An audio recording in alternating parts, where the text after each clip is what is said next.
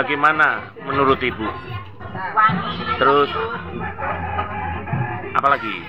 wangi panas di tangan Tangannya Ibu gimana, Bu? tidak Nggak timbul iritasi ya? Harum ya? Gitu ya? Iya. Terima kasih, Ibu.